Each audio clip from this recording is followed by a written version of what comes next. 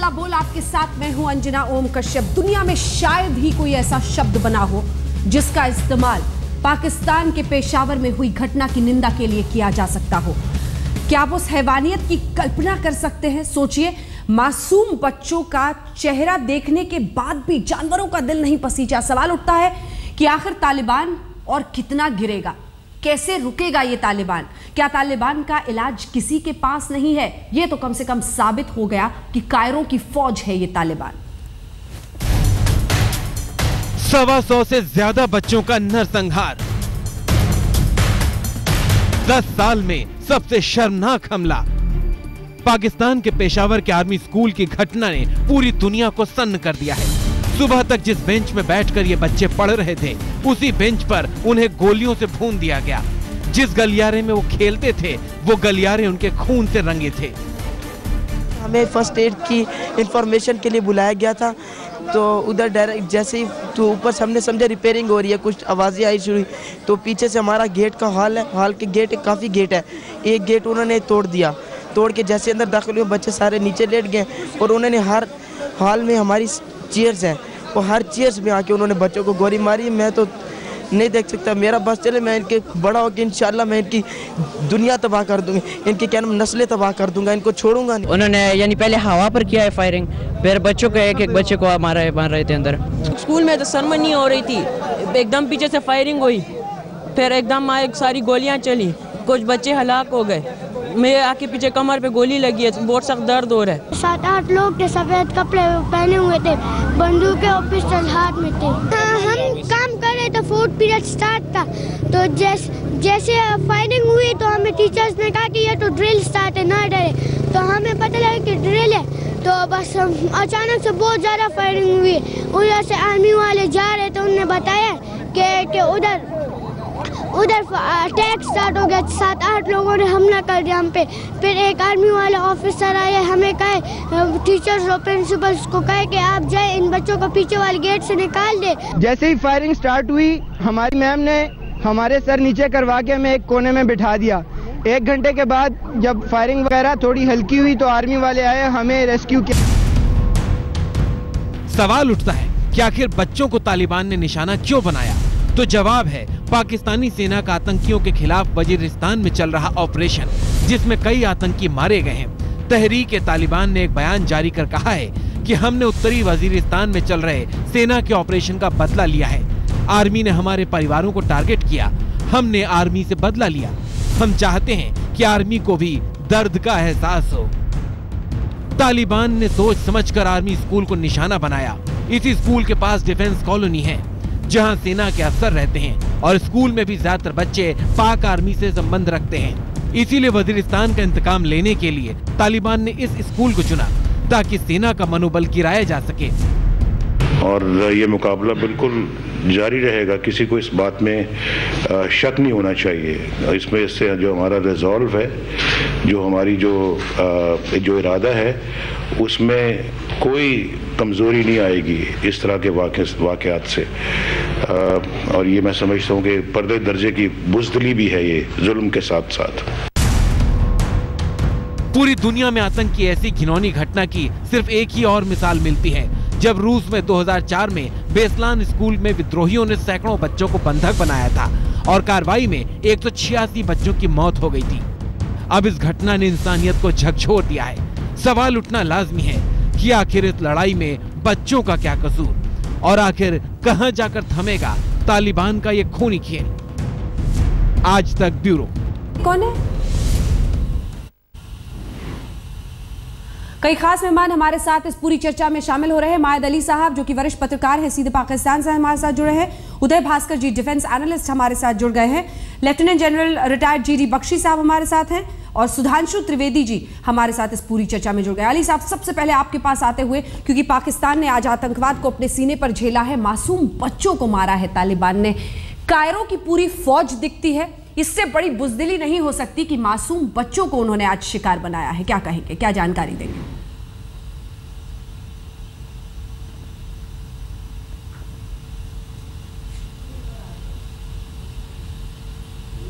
अली साहब, मायद अली साहब। जी मुझसे पूछ रहे हैं आप? जी बिल्कुल।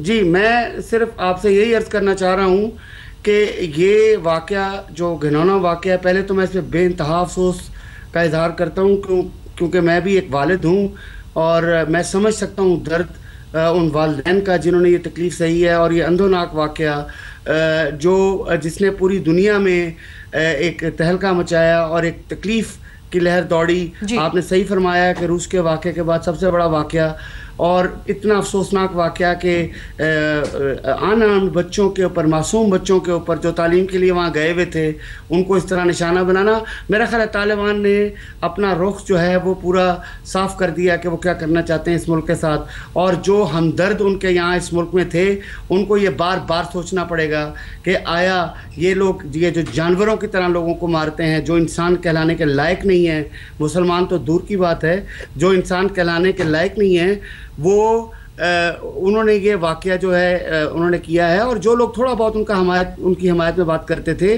उनको दोबारा सोचना पड़ेगा ये कि ये लोग इस काबिल नहीं है कि इनकी हमायत की जाए। ये लोग समझते नहीं हैं चीज़ों को, ये जानते नहीं हैं चीज़ों को, ये जानवर हैं। ये इंसान को इंसान नहीं समझते। इनके लिए मुसलमान या कोई और मज़हब का आदमी होना फ़र्क नहीं रखता। ये अपने जो इस्लाम का वर्जन इन्होंने तैयार किया हुआ है, बड़े अरसे से, और ये खाली तालिबान नहीं है, ये बहुत सारे लोग और भी ऐसे हैं जो मेन स्ट्रीम में जी रहे हैं अभी, जो जो अभी आम नहीं है मिलिटेंट नहीं है, ये घरों में बैठे हुए हैं। अभी तो हमारी फ़ौज लड़ रही है उन लोगों से जो इनसे लड़ रहे हैं। मुझे तो डर इस चीज़ का है कि ये इनके साथ इनकी स्कूल ऑफ़ थॉट के लोग जो कि कराची में बेबहा हैं जो लाहौर में बेबहा हैं और बाकी शहरों में जहाँ से इनको सपोर्ट मिलता है या बाहर से जहाँ से इनको फंडिंग मिलती है मैं तो उनसे भी डर के बैठा हुआ हूँ कि आया वो भी क्या करते हैं इनको तो ये ख़त्म कर लेंगे मगर मुझे नहीं समझ आती कि ये किस तरीके से उन लोगों तक पहुँचेंगे जो इनको फंड भी कर रहे हैं इनको इनके इनकी इनकी सोच को सपोर्ट भी करते हैं इनके वाली सोच भी रखते हैं और जो इंसानों को इंसान नहीं समझते और जो मुसलमान क्या किसी की कोई इज़्ज़त नहीं रखते। बिल्कुल। मैं हैरान हूँ ये वक्त है ये वक्त है पूरे पाकिस्तान के लिए ये समझने का कि वो अपने नेताओं को भी आईना दिखाएँ और समझाएँ कि ये जो सफ़ेद पोश नेता वहाँ पर घूमते हैं जो गुड टेररिज्म और बैड टेररिज्म की परिभाषा विश्व को समझाते हैं आतंक हर मज़हब के खिलाफ है। वो मज़हब देखकर खून नहीं बहाता है, ये समझना होगा पाकिस्तान को भी, उन तमाम नेताओं को जिन्होंने ये सब कुछ किया है। हालाँकि ये वक्त ऐसा नहीं है बख्शी साहब, कि हम पाकिस्तान उसकी गलतियों पर उंगली उठाएँ, लेकिन सवाल ये है कि तालिबान अब एक ऐसा मॉन्स्टर हो चुका है, ऐसा विकराल रूप ले चुका है, जो कि बच्चों को छोटे छोटे बच्चे थे, जो किताब लेकर, टिफ़िन लेकर, स्कूल पढ़ने के लिए गए थे, आज घर नहीं लौटेंगे। ऐसी ऐसी हरकत की है उन्होंने। जी हाँ मैं वही बात आपसे अर्ज़ करना चाह रहा था जी ये बख्शी साहब से मेरा सवाल था। अली साहब आपके पास फिर लौटूँगी? आपके पास फिर लौटूँगी? ये सवाल बख्शी साहब के लिए था। बख्शी साहब।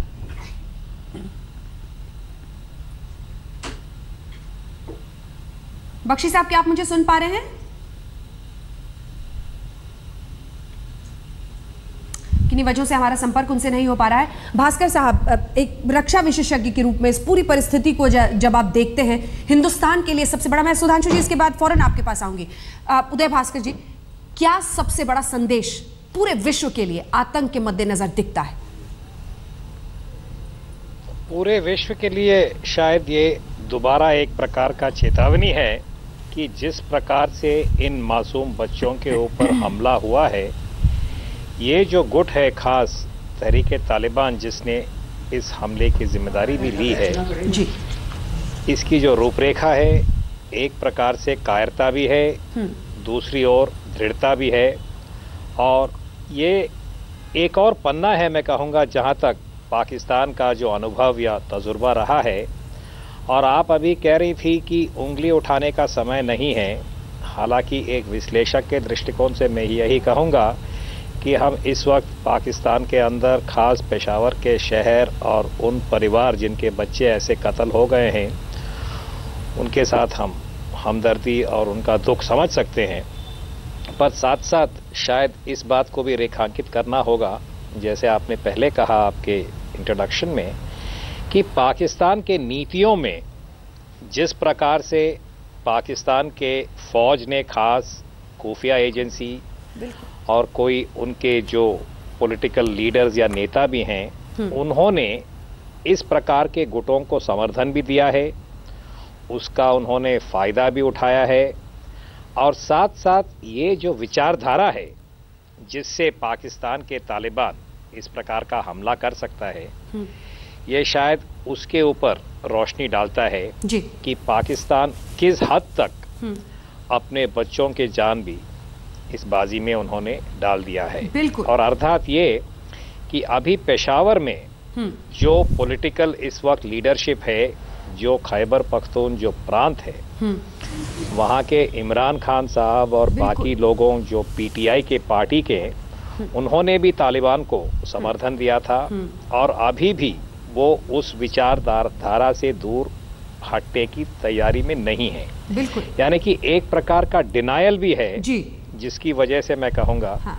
कि पाकिस्तान का फौज जो है वो अभी भी कुछ ऐसे गुटों को समर्थन दे रहे क्या हैं चाहे वो पाकिस्तान बिल्कुल इसके इसके साथ भास्कर साहब पाकिस्तान के लिए अब ये एहसास सबसे हावी होना चाहिए कि जो उन्हीं के नेताओं ने अपनी राजनीति साधने के लिए तालिबान का एक वक्त पर साथ दिया और देते रहे और बीच बीच में देंगे और शायद कुछ दिन बाद फिर देंगे क्योंकि उन्हें वोट उसके ज़रिए मिलेगा खैबर पख्तून इन तमाम इलाकों में। उन सब के लिए सबसे बड़ा सबक है कि वो ये जाने कि कितना खतरनाक खेल उन्होंने पाकिस्तान के साथ कर दिया है। बच्चों पर जो आतंकी हमला हुआ है उस पर अब मलाला यूसुफ जई ने कहा है। उनका कहना है कि ये कायर आतंकियों की करतूत है। मलाला ने हालाँकि जिस दिन नोबेल शांति पुरस्कार भी जीता था उस दिन भी उन्होंने जिस बहादुरी से अपनी बात कही थी इन तालिबानियों के खिलाफ उस दिन भी एक तमाचा जड़ा था इनके चेहरे पर। लेकिन आज इन कायरों ने बच्चों को अपना निशाना बनाया है। आ, सुधांशु जी पॉलिटिकली मैं चाहती हूँ लास्ट में आपके पास आऊँ, इसीलिए बख्शी साहब हमारे साथ जुड़ गए हैं। बख्शी साहब, जैसा कि मैं पहले भास्कर साहब से भी कह रही थी, उंगली उठाने का वक्त नहीं है पाकिस्तान की तरफ़। लेकिन पाकिस्तान को समझना होगा, जैसा एक वक्त पर हिलरी क्लिंटन ने भी कहा था कि अगर आप सांप को पीछे रखेंगे अपने आँगन में तो ये मत समझिएगा कि वो आपका पड़ोसी बनकर रहेगा। देखिए, बिल्कुल सही बात कही गई है एक तो ये हैवानियत की हद पार हो गई है। मासूम औरतों और बच्चों पे वार करने का ये लड़ाई का तरीका। ये पाकिस्तान ने अपनाया है as a state policy as an instrument of state policy उन्होंने तालिबान को खड़ा किया था उनके मेजर जनरल नासिरुल्लाह बाबर साहब ने मोहतरमा भुट्टो के शासनकाल के दौरान और उसका इस्तेमाल किया गया था कि अफ़गानिस्तान में गफलत फैलाई जाए। अफ़गानिस्तान की सरकार का तख्ता पलट के वहाँ प्रो पाकिस्तान जो तंजीमें हैं वो काबुल पे कब्जा करे। इसी प्रकार उन्होंने और कई जहरीली तंजीमें खड़ी करी हैं। लश्कर ए तोयबा जैश ए मोहम्मद हरकतुल जिहाद इस्लामी इत्यादि इत्यादि जो कि पिछले तीस और अब, अब और अब वही उन पर भारी पड़ रहा है। एक ब्रेक के लिए मुझे रुकना पड़ रहा है। सुधांशु जी जल्दी से दो लाइनों में एक कमेंट क्योंकि विस्तार से बात आपसे ब्रेक के बाद करूँगी। सरकार के लिए हिंदुस्तान के लिए? क्या समझ में आ रहा है? क्या सबक लेने की ज़रूरत है ऐसे वक्त पर? देखिए जिस ढंग की घटनाएँ इस समय पाकिस्तान में हुई है इससे केवल एक अभी बाकी मैं कहूँगा बाद में विस्तार में बात करेंगे कि 2014 में जो नाटो फोर्सेस का विड्रॉल होना है बिल्कुल। अफ़गानिस्तान से। वो जो प्रोसेस चल रहा है उसके बाद जो परिस्थिति पाकिस्तान और अफ़गानिस्तान में उत्पन्न होगी भारत के लिए वो एक बड़ा सुरक्षा कंसर्न है और हमारी सरकार और हमारे रक्षा विशेषज्ञों को उस परिस्थिति का आकलन करते हुए अपनी राष्ट्रीय सुरक्षा को सुनिश्चित करने का प्रयास करना होगा। बहुत महत्वपूर्ण बिंदु जो आपने छेड़ दिया है। इसको ब्रेक के बाद हम उठाएँगे और तमाम